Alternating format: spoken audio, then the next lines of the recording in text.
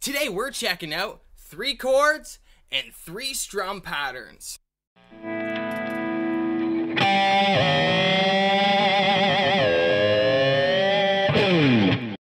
The three chords we're going to check out today is our G major, E minor, and C major chord.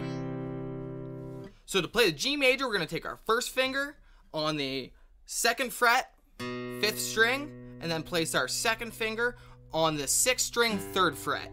From here, we're to take our third finger, put it on the second string, third fret, and place our pinky directly under it on string 1, fret 3, giving us a G major.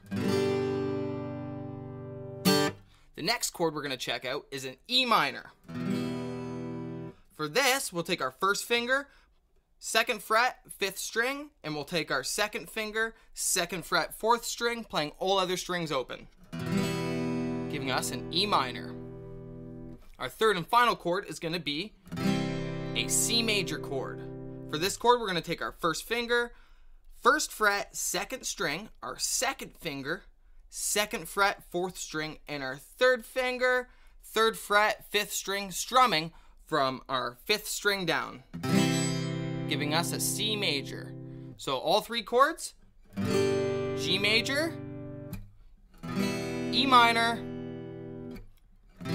and C major. The first pattern we're going to check out today is down, down, down, up, down, up, down, down, down, up, down, up. Now we're going to use the same three chords we learned earlier, starting with the E minor, doing the pattern one time.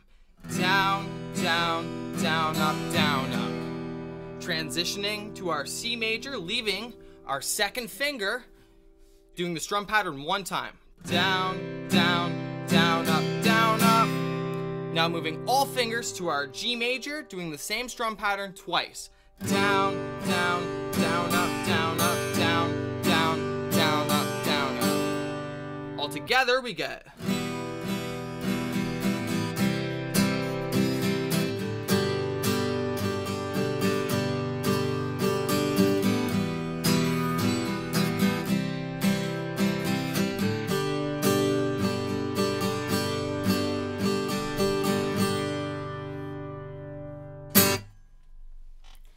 Pattern number two. Down, down, up, up, down, up, down, down, up, up, down, up. Sounds a little familiar, doesn't it? Classic song? I think. But we're gonna start this one off with the C major, doing the pattern twice. Down, down, up, up, down, up, down, down, up, up, down, up. Transitioning to the G major, doing the strum pattern two times. Down, down, up, down, up, up, down, up. And finishing off on the E minor, doing the strum pattern four times. Down, down, up, up, down, up, down, down, up, up, down, up.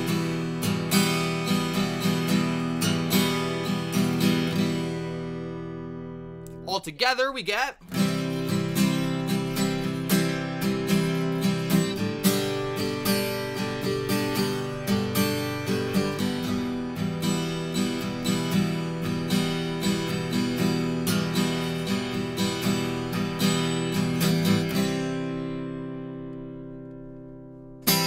And for our third and final pattern, we're gonna go root, strum, strum, root. So, our example for this, we're gonna start on our G major chord. We're gonna pick string six, just the root of the chord, and then we're gonna go down, up. So it's root, down, up, root, down, up. Doing that pattern four times on G major.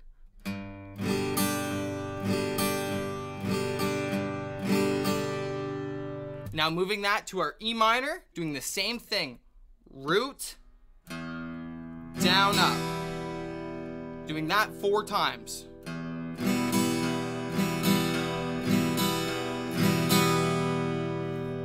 And our third and final chord will be the magical C major. Doing the same thing, but starting on string five, root, down, up. Repeating that eight times.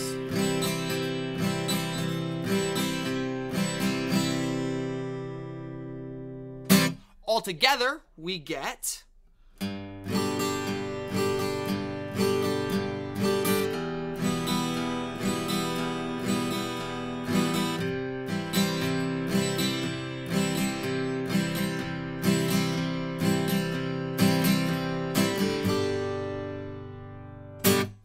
if you get bored, you can put all three strum patterns, all three chord progressions together, starting with our first one, down, down, down, up,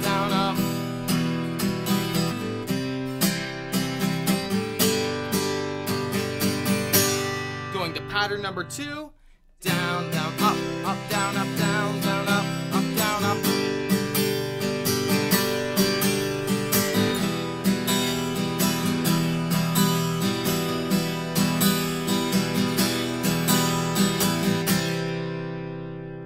And our third pattern.